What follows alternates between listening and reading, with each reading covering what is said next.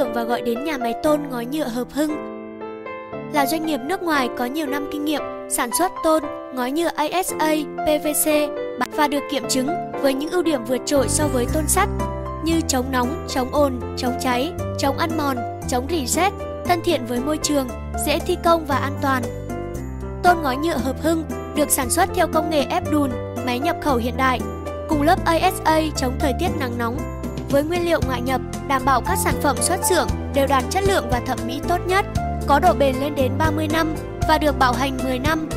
Mùa đông ấm, mùa hè mát, sản phẩm đẹp, thời trang màu sắc phong phú, bền màu với thời gian, giá rẻ, phù hợp với túi tiền người tiêu dùng.